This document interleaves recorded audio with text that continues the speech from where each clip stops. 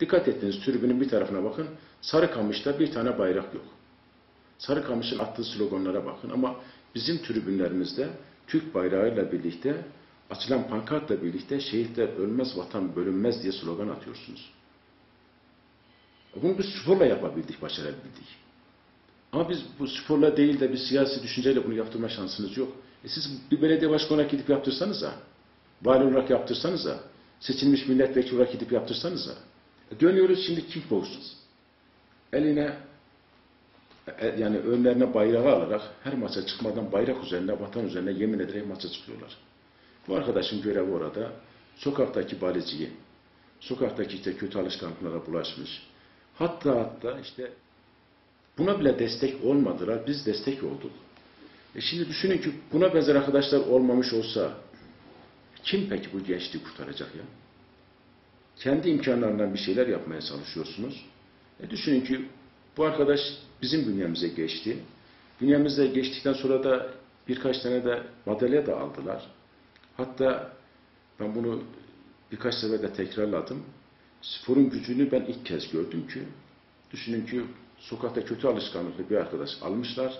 6 ay içerisinde disiplinli bir eğitimle başarılı bir sporcu olmuş. Gittiler işte madalya aldılar. Bu çocuk önümüzdeki günlerde İrlanda'ya giderek Türkiye'yi temsil edecek. Döndükten sonra da milli olacak bu arkadaş. Şimdi milli olunca ne oluyor biliyor musunuz? Bu arkadaş milli olunca ilkokul mezunu olduğundan dolayı milli sporcu olduğu için üniversiteye yataş, yata geçiş yapabiliyor. E şimdi hangi siyasetçinin gücü ilkokul mezunu, ortaokul yok, lise yokken, üniversite imtihanı kazanmazken direkt üniversiteye gönderebilir? Hangi bakanın, hangi cumhurbaşkanının? Ama tek sporun. E demek ki düşünün ki biz şehirde sadece kickboxta değil, diğer spor dallarında da buna benzer ilkokul mezunu, kötü alışkanlıktan kurtardığımız, yılda 10 tane arkadaşımızı üniversiteye direkt geçiş yaptırabilsek, 10 tane gencimizi kazanmış olacağız. Hayatını kurtarmış olacağız ya. E buna niye engel oluyorsunuz? Sporun gücü burada. Bu işte yani. Yani hiçbirimizin gücü yok ama sporun gücü. E demek ki yani bir de bu şehri kurtarabilirsek sporla kurtarabiliriz. İşte spor sağlıklı düşünmeyi de sağlıyor aynı zamanda. Geleceğini hazırlıyor. Ondan sonra gelecek nesli de hazırlıyor. Ya mutlaka. Ya düşünün ki bir çocuğun iyi bir sporcu olabilmesiyle alakalı haftanın kaç saatinde antrenmanlara ve hocadan alacağı eğitimlere ayırıyor zamanla. Oradan işte gere, yolda gereken bir zamanı düşünün. Eve gitmesi, dinlenmesi filan. İnternet bir kere yani en kötü alışkanlıklardan bir tarafı arındırsanız bile evindeki internet ortamından kurtarmış oluyorsunuz. Yani ya o kadar doluyuz ki hak etmediğimiz yani bahsettiğim Başından beri başından beri yani hatırlarsanız buranın bir açılışını yapmıştık biz. Açılışını yaparken belediye başkanı da buradaydı, vali bey de buradaydı. Kurumlardan da vardı. Herkes yaşasın Muharrem. Ben o zaman da söylemiştim. Demiştim ki Kars Spor pimi çekilmiş bir bomba Muharrem Yıldız'ın kucağına koydunuz. Muharrem Yıldız'ı bundan nasıl patlatırız diye düşünüyorsunuz. E hiç önemli değil.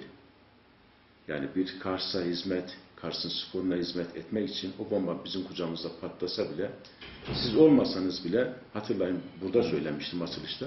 Siz yanımda olursanız daha güçlü oluruz ama siz olmasanız bile tek başıma kalsam bile ben bu işi yapacağım demiştim. Alnımızın akıyla iki yıldır yaptık. Ama diyorum bu kadar kirli oyunlarla birlikte bir şanssızlık yaşadık. Ama bugün ben şundan çok mutluyum ki Kars Spor artık çok sevilebilen, Kars Spor sevgisi sadece Kars'ta değil, Kars'ın dışında yaşayan insanlara bile eski Kars Spor heyecanını yakalayan, yakalayama başarısını gösterdi. Ve bugün işte maçta izlediğiniz arkadaşlarımız geçen sene bizim U19'da. Geçen dönemde hocalarımızın oynatmaya boş ver, antrenmana almadığı çocukları biz bu yıl 12 tanesini hazırladık biz. Kars'ın.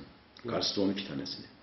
Allah nasip ederse belki göre, isimlerini de göreceksiniz. Bu çocukların içinden 4-5 tanesi ikinci, üçüncü ligde top oynayacaklar. O kadara da hakikaten başarılılar.